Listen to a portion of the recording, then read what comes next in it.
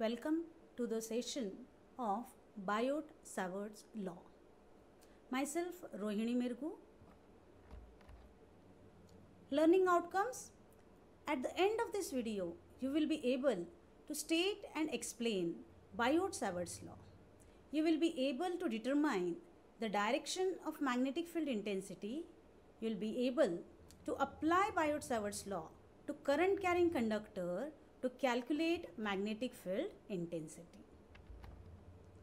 These are the contents of the presentation. First of all, I'd like to ask you a question. How magnetic field is produced? You can think on this question. You can find out the answer. You can write the answer. Of course, the initial answer can be when the magnets are there, there is a magnetic field. But if the permanent magnet is not available, then how magnetic field is produced? So how magnetic field is produced? I hope you got the answer. The electric current produces a magnetic field. So when we pass the electric current, then it produces a magnetic field like this. The current is passed through this loop or any current carrying conductor. When the current is passed through any current carrying conductor, around this the flux lines are formed and these are nothing but the magnetic field lines. So this is what is the magnetic field. Now look at the Biot-Savart's law or what is the importance of Biot-Savart's law. Biot-Savart's law talks about the equation for magnetic field intensity. If magnetic field is produced when current is passed, how much magnetic field is produced? What is the intensity of the magnetic field produced? That is can be explained using Biot-Savart's law. So let us look at its statement. Before that statement, we need to assume something like assume a differential DC current carrying conductor producing a magnetic field in free space. Here I assume that the current carrying conductor is placed in free space. So like this, this is a current carrying conductor carrying current I in this direction and I assume that this conductor is placed in free space. Before going to a statement, let me tell you what other things I have shown in this diagram. In this diagram, there is a current carrying conductor carrying current I. A small length of this current carrying conductor I considered having the length dl and as it is having the direction in the direction of the current the length is called as dl bar. And let us assume that around this of course the field is produced. And let us assume that I want to find the field at this point at point P due to this current carrying conductor. So the line joining this point P to this dl is nothing but r. And the unit vector in the direction of r is nothing but r cap or ar bar. And this line making an angle theta with the filament filament is one and the same as a current carrying conductor. So this is a filament this is a current carrying conductor. Now statement at point p the magnetic field or magnitude of magnetic field intensity produced by differential element is directly proportional to the product of current, the magnitude of differential length, the sine of the angle lying between the filament and the line connecting the filament to point P at which field is desired. The magnetic field intensity is inversely proportional to the square of the distance from differential element to point P. Now, when I talk about the direction, the direction of magnetic field intensity is normal to the plane which is containing the differential filament and the line drawn from filament to point P. So, to these two the direction is normal and the magnitude is directly proportional to the current I. Also, the product of I and the magnitude of differential length and the sine of the angle and inversely proportional to the distance which is r. So mathematically I can express the same here as I said directly proportional to the product of current, the differential length and sine of the angle inversely proportional to square of the distance and when I combine these two I get dH bar. H is the magnetic field intensity. As I am finding out the magnetic field intensity for differential length I say it is dH bar. It is I dl sine theta upon r square. Now constant of proportionality is according to Biot-Savart the constant of proportionality is 1 upon 4 pi. So dH bar comes out to be I dl sine theta upon 4 pi r square. As we know that A bar cross B bar is equal to modulus of A bar, modulus of B bar and sine of the angle between two. So that I can replace this I dl sine theta by I is the scalar quantity as it is.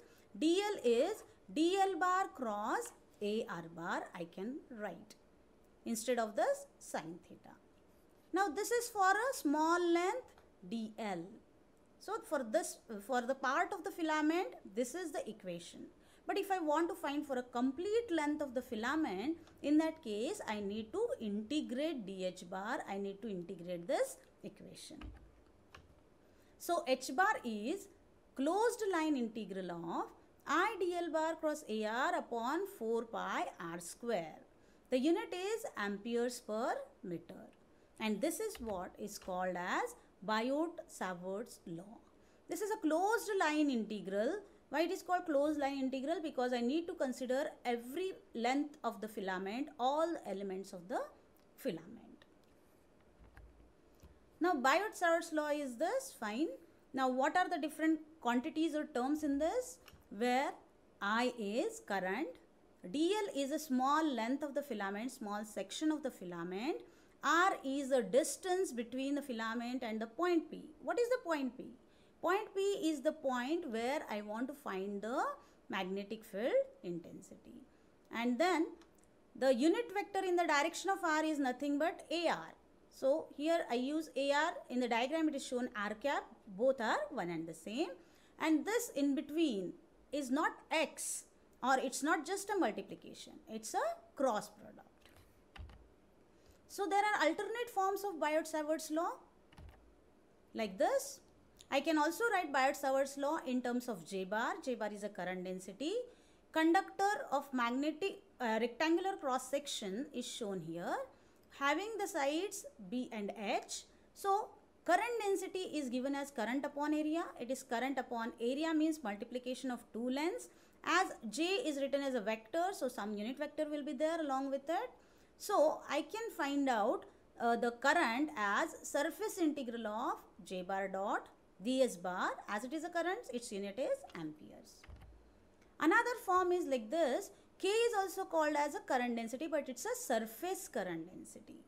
So the current is distributed over a surface having the length B. So it is given as current upon length. Its unit is amperes per meter. K is I upon B. Current can be given. So the alternate forms of Biot-Savart's law are h bar is volume integral of j bar dv cross ar upon 4 pi r square. Why it's a volume integral? Because it's a integration with respect to volume dv. Also h bar can be given as surface integral of k bar ds cross ar upon 4 pi r square. Why it is a surface integral here? Because the integration is with respect to surface. Surface integral means double integral, volume integral means triple integral. Let me talk about the direction. The direction of magnetic field intensity is normal to the plane containing a differential filament and the line drawn from filament to point P. So, the direction will be like this. If my First finger is showing I dl, second finger is showing the direction of R, then thumb will be indicating the direction of magnetic field intensity. Now you may ask me here like I have said magnetic field intensity as DH but here I am writing it as a dB. What is dB? dB is differential magnetic flux density. So magnetic flux density and magnetic field intensity are one and the same with a small difference or what is the relation between B and H that I'll show you further. But at this stage, we'll talk about the direction of magnetic field intensity. The magnetic field intensity is perpendicular to the plane of R and I dl. So the perpendicular or a normal component in that direction is the direction of magnetic field intensity. The relation between B and H, B bar can be given as mu naught H bar. Now let us apply the Biot-Savart's law to this given example. Assume that there is a point P1 at 1, 2, 3, there is a point P2 at minus 3, 1, 2 and this is the I delta L1. DL can also be written as delta L, a small filament, small part of the filament can be written as delta L. So delta L1 is given to us and we need to calculate delta H2. So how we can calculate this? Let us go for the solution. So first apply the Biot-Savart law. Dl is given in the form of delta L. It's given but it is given in the form of delta L. So I can modify my equation like this. Now my job is just to substitute the values of unknowns. I delta 1 is known to me. Only unknown is R and AR. I need to find out R and AR. So as I said R bar is arrowhead coordinate minus tail coordinate. So arrowhead coordinates are P2 and tail is P1. So minus 3 minus 1 into the unit vector AX bar. As we consider three perpendicular directions AX, AY, AZ. So unit vector is here AX. Then minus 1 minus 2 into AY. Then 2 minus 3 is AZ. So this is R bar. The unit vector is nothing but a vector upon its magnitude. I get this as A R bar. Now substitute AR and R, R bar in the equation of delta H2. Continue the example. Then delta H2 is this one. I take under root 26 below so that I get under root 26 raised to 3 by 2. Now I want to find this cross product. How to find the cross product? So for that I have written these two brackets here and then first row comes to be AX, AY, AZ modulus of that and the coefficients of first bracket should be written here. Remember cross product in the cross product I cannot interchange the order. I must first write the coefficients of this minus 1 then 1 then AZ coefficient is 2 again AX coefficient is minus 4 then minus 3 AZ coefficient is minus 1 then AX bar into the bracket cross product like this minus 1 minus of minus 6 minus 1 minus of minus 6 into ax. Minus of minus so it comes to be plus.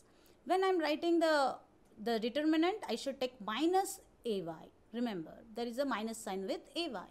So with ay i uh, leave this row and then i'll multiply this. Minus 1 minus 1 comes to be plus 1 minus of 4 into sorry minus 4 into 8 is minus 8 so 1 plus 8 plus AZ bar into the bracket.